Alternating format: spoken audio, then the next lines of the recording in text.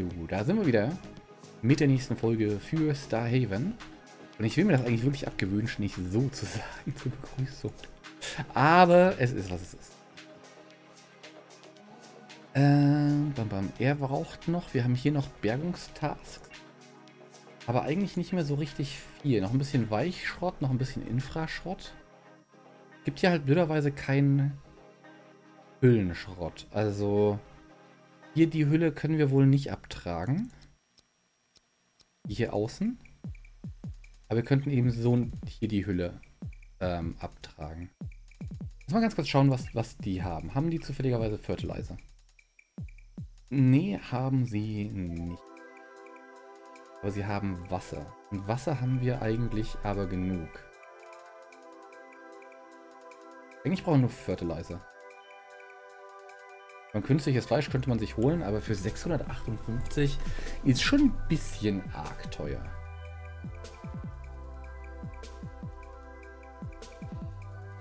Ja, jetzt springen sie weg, glaube ich.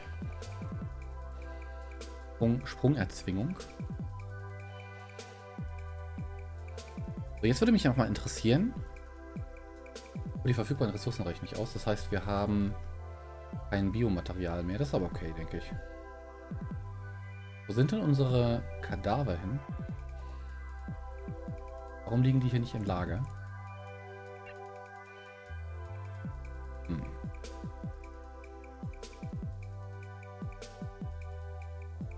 Ich glaube, wir machen das nochmal anders. Wir bauen jetzt schon mal ihn hier hin, ähm, pflanzen an und reißen ihn hier dann ab. Weil er aus, also äh, äh, ressourcentechnisch macht das keinen Unterschied. Aber wir können halt jetzt schon mal parallelisieren. Und dann können wir auch noch mal überlegen, ob wir hier nicht noch mal einen hinkriegen. Oh, das ist super. Wenn wir die Antriebe hier hoch umziehen, können wir hier sogar noch eine zweite Reihe Bio-Teile ähm, hinbauen. Das ist klasse, das machen wir nämlich auch. Also wir brauchen mehr Crew langfristig. Dann machen wir hier nämlich mal nur Nüsse und Samen. Weil Nüsse und Samen sind das, was gerade am meisten fehlt.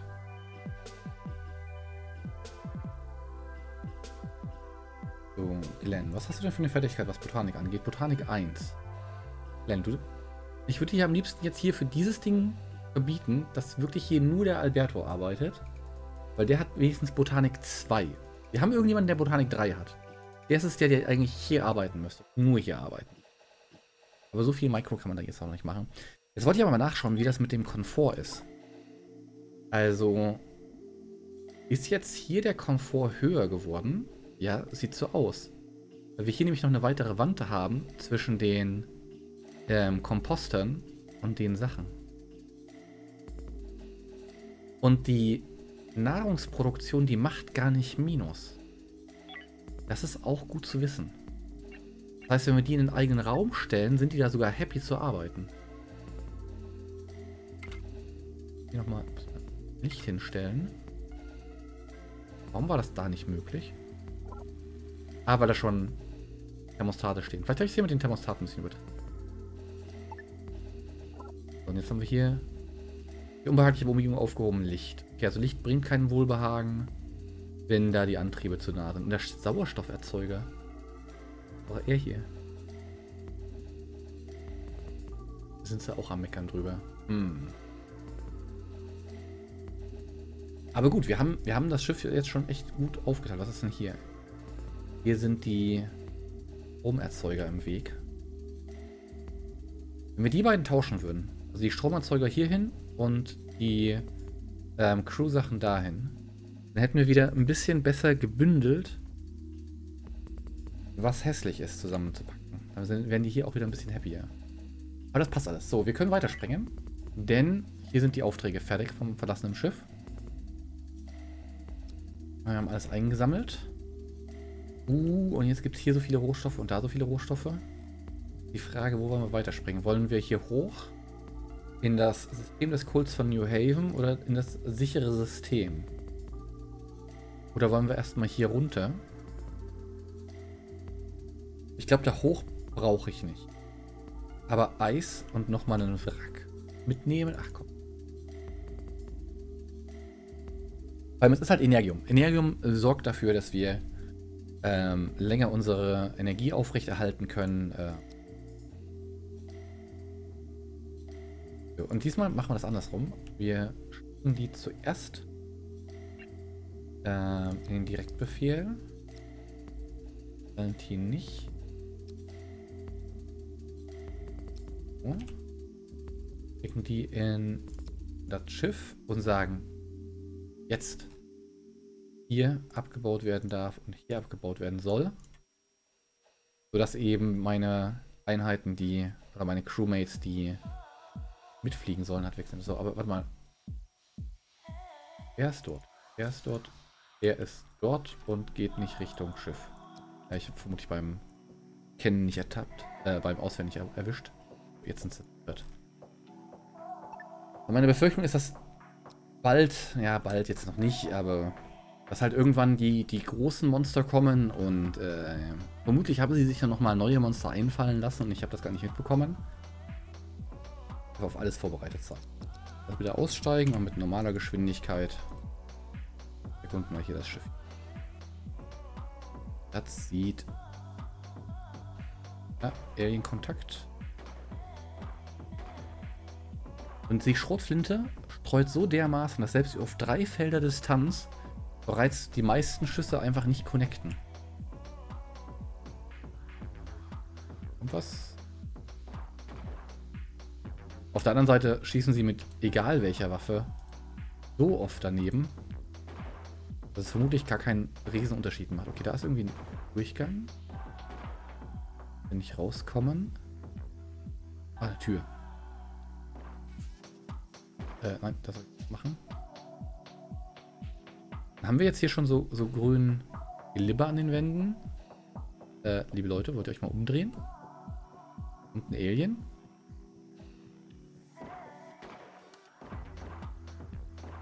Sonst greift es nicht an.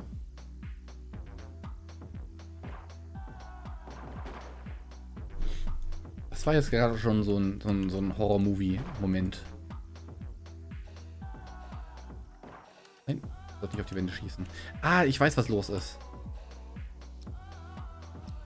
Ich habe hier das falsche Ding an. Wegen. Oh ja, so einen Reaktor würde ich gerne mitnehmen. Der ist groß.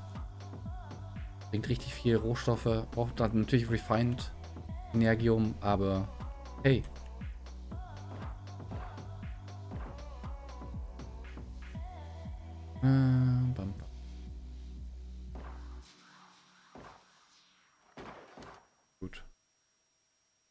Hier nochmal aufheben.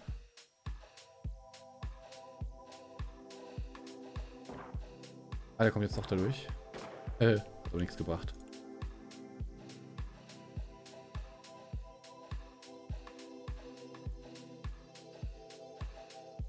Uh, das ist eine schöne Brücke. Das war schon ein richtig großes Schiff, was hier gleich zu, zu abzubauen ist. Hier ist der Antrieb, da ist der Direktbefehl weg, das Shuttle auch aus dem Direktbefehl und bitte einmal hier alles transferieren. Das ist erstaunlich wenig. Aber dafür haben wir hier bei Bergen alles mitnehmen. Wie ist das jetzt hier mit dem Wiederaufbereiten? Hier wird ja alles wieder aufbereitet.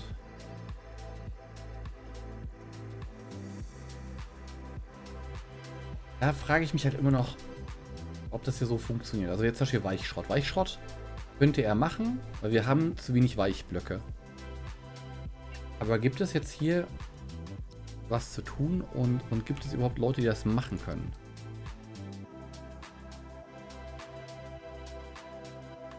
Wie sieht bei dir aus? Ist noch vieles am Wachsen. Ja, und Glyn und, und äh, Jean haben erstmal ihre, fast Glyn und Alberto haben erstmal ihre Ruheschicht verdient. Dürfen erstmal alle fleißig.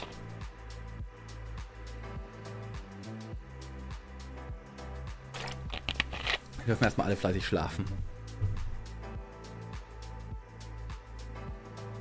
Wie weit sind wir eigentlich mit der Forschung inzwischen? wieder 20% weiter. Aber so richtig schnell geht das mit der Forschung gerade nicht.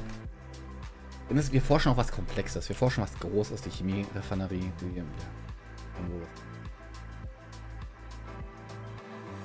Und die ha, werden wir wohl hier hinstellen.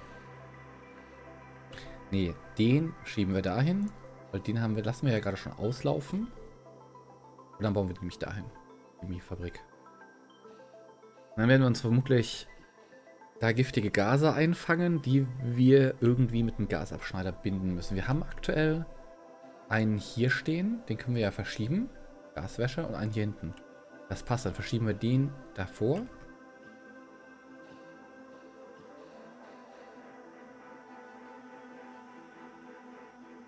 Wir holen hier mal das Zeugs raus. Alles fertig. Geht's bei euch?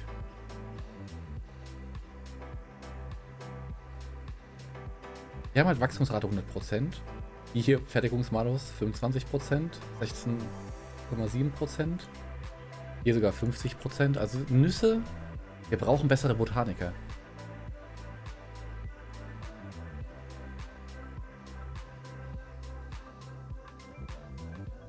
Und ich weiß immer noch nicht, wie das überhaupt geht. Also, ob die Leute überhaupt was lernen können. Ob das schon implementiert ist sozusagen. Oder ob das noch fehlt.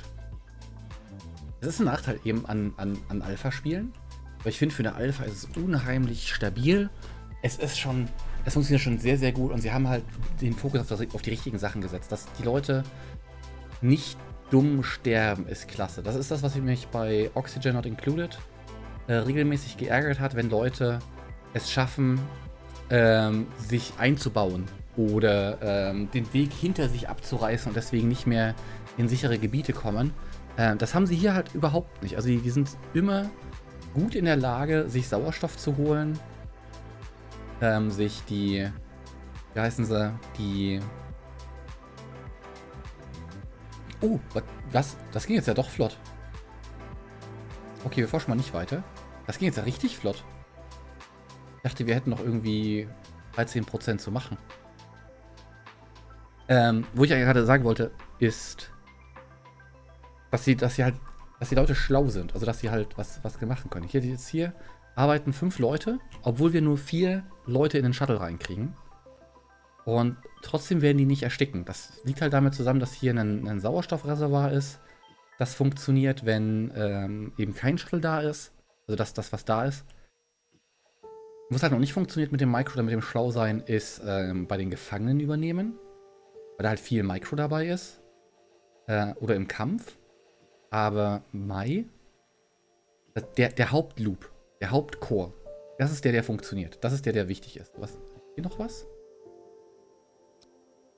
Liegt noch was? Äh, aufnehmen. Neues Datenblock. Äh, dass er aber dafür jetzt hier außen rumgehen musste, statt dass er da durch die Tür geht. Aber hier Schutt ist vermutlich. Nee.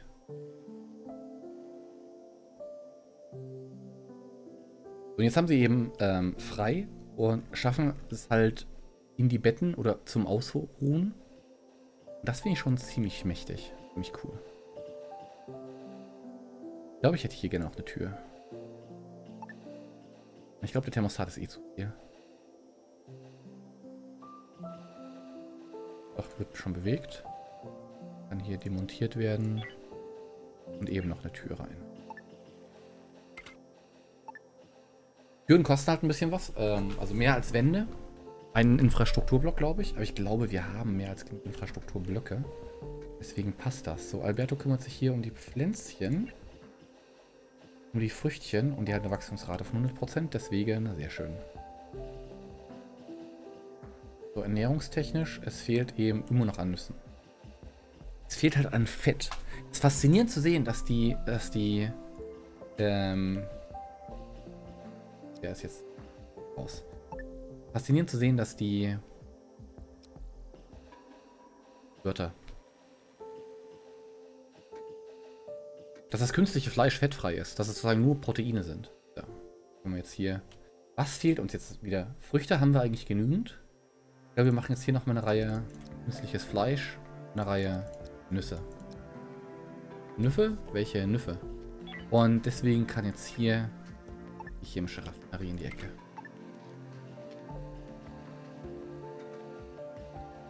Den können wir auch gleich bauen. Valentin kümmert sich drum. Ah, da fehlt Strom. Okay, okay, okay. Ähm, bam, bam. Kriegst du da deinen eigenen Wandverteiler?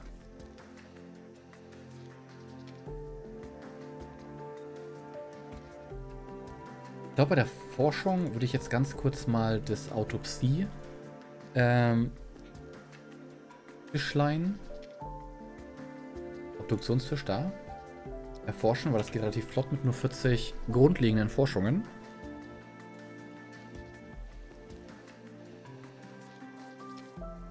Koppeln wir so, dann hast du Strom. So, und du machst jetzt hier bitte äh, chemische ebenfalls kleiner ein. Stoffe, Sanitätsartikel, Flüssigkeit. Dünge.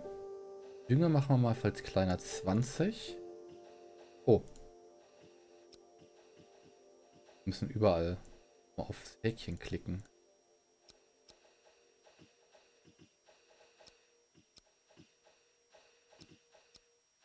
So Explosionsgeschosse stellen wir gar nicht im Moment. Dann an wichtigen Ressourcen gering. Energium. Ähm. Ähm. Das ist Strom. Das ist doof. Hier kriegen wir jetzt gerade nichts mehr raus. Okay, dann machen wir jetzt ein Sprung. Äh, bringt die Leute bitte zurück. Und springen hier runter. Nicht Energium. Haben wir hier...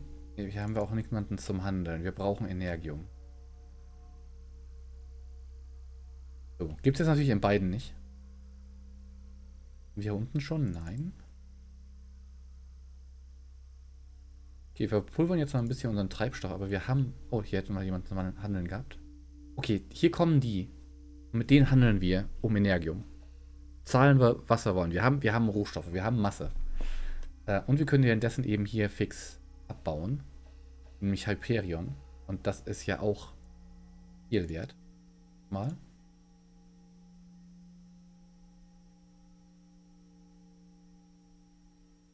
dürft ihr hier losdüsen. Ähm, bam, bam. Und hier bin ich gespannt, wie, wie schlimm, wenn der aktiv wird, wie schlimm viel wärmer das hier wird. Ähm, bam, bam. Wie viel giftige Gase da rauskommen und und und. Aber wir haben jetzt auch hier schöne, ähm, ja, 24 Grad mal 30 Grad im Reaktorraum. Das ist super. So, er hier hat, glaube ich, gerade produziert. Müssen wir da was hin und her getragen?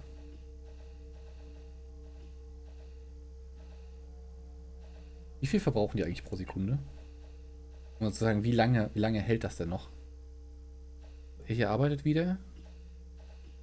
Wird gelb. Aber finde ich okay. Und dafür kriegen wir jetzt halt Dünger.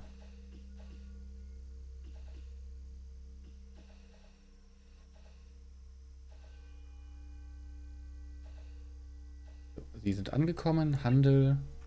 Neuer Handel. Gebt uns bitte Energium. Oh, sogar relativ günstig. Sehr schön. Und legt noch ein bisschen Fertilizer drauf. Müssen nämlich weniger chemische Rohstoffe verballern. Und dafür kriegt ihr ähm, bam, bam, Hüllenblöcke. Ich, will ich eigentlich nicht.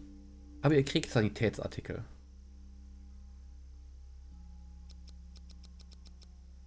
Nee, ihr kriegt Nahrung. So.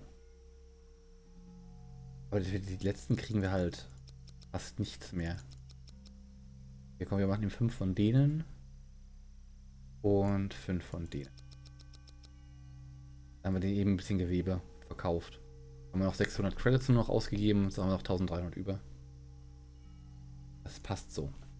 Dann haben wir unser Energium wieder mal verdoppelt. Wir könnten ihn rein theoretisch noch was anderes verkaufen, um unsere Credits zu steigern. Ähm, gerade Imperium haben wir halt viel.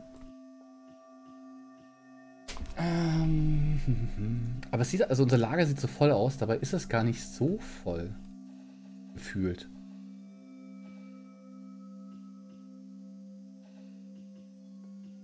Da ist der Handel. Da geht auch was ran.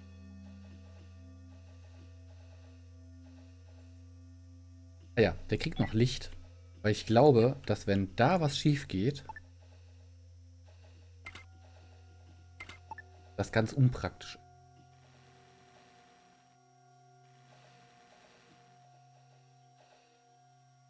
Ich glaube tatsächlich, dass er jetzt auch sogar schneller hier arbeitet.